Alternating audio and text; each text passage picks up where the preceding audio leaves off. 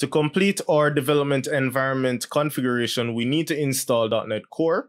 This may not have come out of the box with Visual Studio or the version that was in Visual Studio may be a bit outdated. So the latest version or the version at the time of this recording is .NET Core 3.1.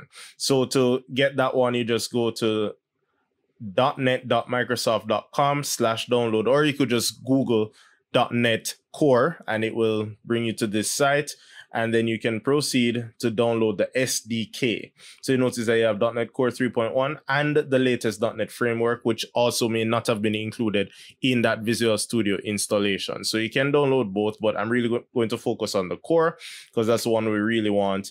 And you just click download SDK, it will launch a download. And then when that is finished, then we look at the installation process when you launch the installer, it's pretty much straightforward. You just need to click install and let it go through any security checks, and then it will just install .NET Core SDK for 3.1, which at the time of the this video was the latest version. So once that is completed, then we'll reconvene.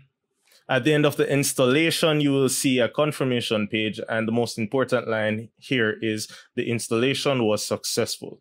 Once you see that, you can click close and that's it for setting up your development environment.